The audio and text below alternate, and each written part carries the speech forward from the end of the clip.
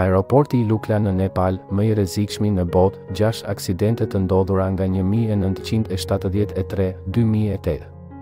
Aeroporti i Lukla në Nepal është cilësuar si aeroporti më i rrezikshëm në botë dhe jo më kot, pasi në të kanë qenë të shumtë aksidentet që nuk kanë kursyer jetë.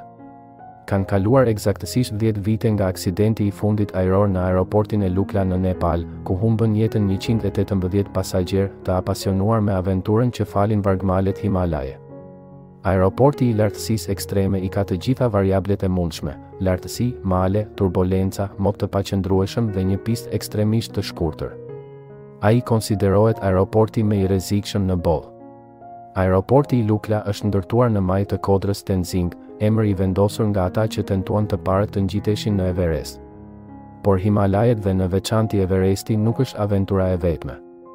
2846 metra mbi nivelin e detit, e gjerë 20 metra dhe e gjatë vetëm 527 metra, pista e Lukla, një lloj ferri mes malesh, përfundon me një rënie thikë mbi luginë.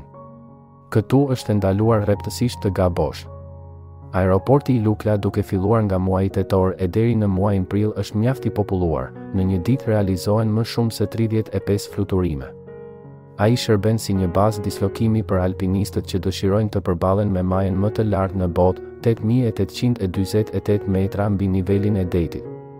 Jo më kot Lukla është konsideruar aeroporti më i rrezikshëm në botë. Për shkak të vendndodhjes së tij, kanë qenë të shumtë aksidentet që nuk kanë kursyer jetë.